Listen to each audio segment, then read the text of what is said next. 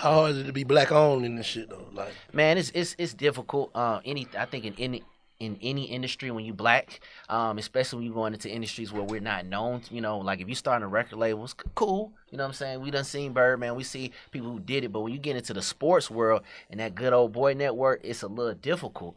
Um, mm-hmm. and that's why I had to to launch Checkmate Sports because I was interning for other agents trying to get in, but they were always little brother me. You know what I'm saying? They would just make me do a little, you know, BS work, Microsoft Excel, stuff like that. So I said, you know what? I'm just gonna stack my bread up, and then you know we took off with Checkmate. For sure. With your staff, your staff, your whole staff black, or you got? Yeah, I used to have a Hispanic guy, um, but he ended up uh, started his little agency and stuff like that. We put him on, but right now we're just all black on. Okay. Mm-hmm. So what's your how you like? How, what is your approach to keep athletes like on the proper path to get to that level of that draft. Because keeping it real, we don't have athletes here that, that keep it real. Like uh-huh. I smoke, I drink lean, I do this, I do that. You know yeah. what I'm saying? Mm-hmm. Yeah. But you obviously know now this is your investment. You don't put money into them. It's a little different than a rapper. Like oh, you got to keep man. them healthy. Yeah. You know what right. I'm saying? Like it's what's the- some of the shit you do to keep them niggas straight and narrow? And another thing that could fuck these athletes up too is the women. Most definitely. You know what I'm saying? Most like definitely. someone can have vices with women, be going too crazy. They don't practice. They ain't focused. You know mm-hmm. what I'm mm-hmm. saying? And that can fuck it up. So how you keep them? How you keep them focused? On the outside looking in, when you're a fan or when you just watch the game as a novice, you you know you wonder why certain players stay in the league longer than others. Mm. And then when you start to get in an agent or in the industry where you're investing in these players, you start to respect guys like Larry Fitzgerald and Jerry Rice and mm. guys who got the talent and stay out of trouble. Mm. But to be honest, most of these guys, man, they. it's, it's, they got the egos. A lot of them are divas and stuff like that. But that's why they need what they, they divas, divas, man. What and they be doing, bro? Man, I had a guy, I got him to the league, and I ain't gonna say his name, but it was crazy because I got him to the league after all the pandemic stuff. It was crazy. Mm-hmm. He well, called. It got to be one of the two people you just I mean, named, right. but we'll so, fall but, back. Yeah, yeah, but you know, it ain't hey, hey, it is what it is, you know? So he, and I ain't gonna say, right. but he get him to the league, right? He called me 4 a.m. I'm thinking he got arrested, something crazy to happen. I pick up the phone, like, what's going on? I feel like Jerry Maguire. So I'm like, here you go. Mm. He's like, man, I want to come home. I said, for what? What happened? He's just like, man, I, I um I walked in the in the in the uh in the team room and I seen the depth chart and I was like, okay, what happened? Man, they had me last on the on the depth chart. I said, okay, then what happened? Right. Nothing. That's it. I'm I'm last. I'm like, meaning you not you probably not gonna play. Bro, dude, you, you was unranked, undrafted, you you, you be happy you there. You know what I'm saying? Yeah, yeah. You getting your money. Yeah. There. you getting your money. And, and so yeah. we had it was like 5 a.m. had to call his mom, his dad. We sitting on the phone. We just having a whole little.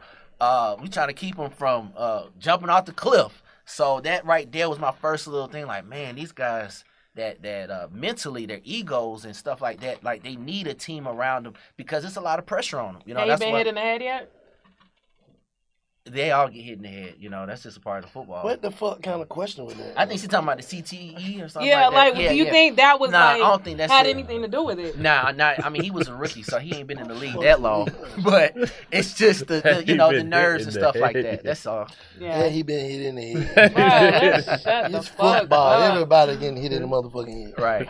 hey, so what kind of D? What else kind of D was shit you be seeing in this shit? Man, you believe it or not, man. Um, a lot of times the athletes get a bad a bad rap, but it's the people around them.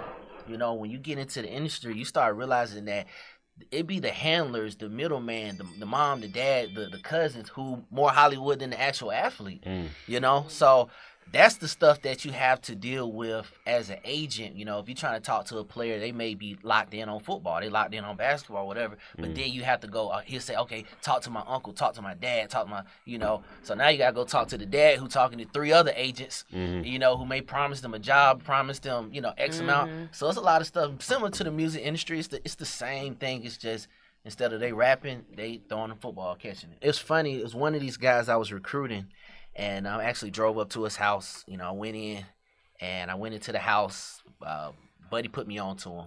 I walk in the house. They had twenty thousand dollars in ones on the table. So I'm looking around. I'm thinking like, okay, this is setup. I'm like, what, what's going on? Come to find out, uh, his dad owned a. Can't say what it because people link it, but he owns a business where he need a lot of ones. You get it? So they up there cash, you know, counting money on the mm-hmm. table, stuff like that. So I'm like, okay. I, I ain't gonna say, but I'm just I look. I'm like, okay, you know, that's what's up. You know what I'm saying? Like I see what already where this conversation going ahead. So I do my little pitch, you know, and then at the end they looking at me and they like, okay, so uh, you know, I, I feel it. I'm like, what, what- what's up? What y'all got to say? Let's let's say it. And they was like, um, you know, what you gonna you gonna put some money up or something? I'm like. So now I sit back in the chair, I'm like, oh man, this is gonna be one of these conversations. What you ain't talk, you, So you gotta give a like- nigga some money. I mean, that's cool, but I just it has to. Let me say that's cool. It's that's I understand that that's part of the game, but a lot of times people, you know, be throwing out astronomical numbers. So what? So hold on. Let me let me see this. So what the agent job to do? When I come to you, how am I selling myself to you? Like if you come, if I was if I was a prospect right now, what would you come tell me and my family? If you was a prospect, first of all, we want to make sure that you're going to be the the focal point of our you know agency. A lot of times, players go to the agencies that have hundred clients. But what I'm saying, I'm good. But how already can that. I'm already can that. you- I'm already him. I'm already that nigga. What you gonna tell me to make me He fuck with you? basically what I'm gonna do is just show them that we're gonna work for them, fight for them, and have their best interest at heart. You know, we took two guys that were under the radar and that was unranked. You know, Travis and Christian from HBCUs. So imagine what we could do for a player like you from Georgia, Alabama, USC, things like that. So we're gonna make sure that we You're get not you getting into what the I'm league. saying though. I get what you're saying. Uh-huh. I'm saying is I'm already that nigga coming out of high school. I know I'm finna be the shit. He's Zion. But you trying to sign He's me. Zion Williamson. What are you telling me? You telling me some shit that I'm already go- that's already gonna happen. And he probably hearing it. Let's just keep it real. He probably hearing it, even though you're the black agent. He at, his- at his heart, he want to fuck with you, but he hearing it from the white agents. He's hearing Yeah, the like same what thing. you gonna say special? You know what I'm saying? Yeah, at the end of the day, it ain't nothing special to say. It's just building that relationship. Everybody gonna say the same thing, but who you rock with? You know, who gonna be there? Yeah, that's that's what it is. At the end of the day, we all got the same money. We all gonna pay for the same training. We all pass the same exams. We all can do negotiate the same contracts. It's just who do you like? Who do you relate with? I guess it's like. But I'm over here, this, this like white boy over here telling me he finna give me goddamn two, three hundred thousand, and he already got goddamn. They can't do that though. Yeah. They What you mean they can't That's do that? illegal. Yeah, They can't they do do? that. can't- Yeah, yeah, they can't do that. So what you mean? Oh, so when they ask you for money, that's illegal. that's why I be like, you know, got to sit back and stuff like that. But I mean, it's illegal. But then there's ways that people maneuver around it. I've you been know, seeing nigga where they paying have- these young niggas forever though, coming out of high school. Oh, no, no, Go no. ahead, Jay. Ask your question, Jay. go ahead, go ahead, Jay. Ask your I don't know question, nothing Jay. about I have a that. question. Bro, what you finna say, bro? I already asked it. He What- answered it. I guess. I don't know. It's like it's like choosing. record, It's I'm not doing that. it's like Nah, you better not. it's like choo- it's like choosing a lawyer. Like it's the lawyer that you trust, or the manager that you Yeah. trust, or whatever. Oh, so it's just is. a nigga just to go represent you like a manager. That's what a sports agent all is. Except are. they We put a little bit into you because they got to get you trained and shit. You see So what what I'm? So, what about the niggas like when you know how you see a nigga in the hood like be fuck with all these athletes coming up and got them make sure they go to school. They the school? middleman. Mm-hmm. Oh, they the nigga that They bring the- it to the they the agent. runner. Mm-hmm. They get paid too. They like an A and R or something. They go find the town, then they go take it to the agent, or they get, go take it to whoever. Mm-hmm. Yeah. Yeah. So they get paid too. You know what I'm saying? On on the back end. Oh, they split. It's the like a finder's fee or some shit, You right? know, on on the back end, if that player blows But up, I heard niggas say like they split the percentage with the agent. Like I think it's like four percent they give you, A five percent. A lot of that stuff is is really they're not supposed to be doing that.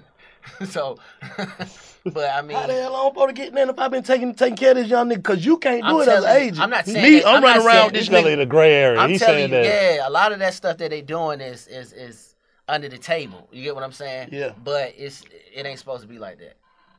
So this is the fucked up thing that they've been saying about college athletes, right? That's why they just passed the it is an The NIL. NIL. He NIL ain't shit. getting money now, right? Yeah. Now they can But get now some the money. game gonna change. But before they just wanted them niggas to starve. right. And that's where everybody been kind of protesting the NCAA and all that shit because it's like you can't do nothing, you can't do that, you can't get no money here. You can all you can do is play football and go to go to class. It don't make sense because a lot of these niggas coming from nothing and they family at home fucked up, and you telling me I can't get no money. So why? You know a nigga gonna do some illegal shit. exactly. Yeah. I got to. Got to take some type of risk. I got Exactly. to. Like shit, there, nigga, I'm- nigga. This shit ain't guaranteed. The Exactly. one thing about that ball, that shit ain't guaranteed. Nah. One thing can go wrong. You take one hit. You know what I'm saying? And the crazy part is the universities, the coaches, everybody else making millions of dollars, but the players, the athletes, they not. They always get the short end So of the what's stick. Right. what's like marketing for uh for like a, a sports agent? So be- the best way I can explain it is I feel like athletes are now the new influencers. So you know how you got Jake Paul and these guys making millions of dollars, but now they're trying to get into boxing. Mm-hmm. But now you got guys like uh, you know, just think of uh, Reggie Bush when he was coming Right, out, right. Zion, when these guys were mega stars, Yeah. but they wasn't able to capitalize off of it. But now, if you got four or five million followers, you can hook, hook up with a sub, uh, supplement company. You can hook up with uh, up and coming Nike or something like that, and promote it to your brand, you know, to your social media, and now you get paid. And that's gonna change the landscape for agents because now, if you are a big firm and you just say, "Hey, so and so, I'm gonna throw you a hundred thousand dollars," if you a freshman been making you know two three million a year, that hundred thousand don't mean nothing.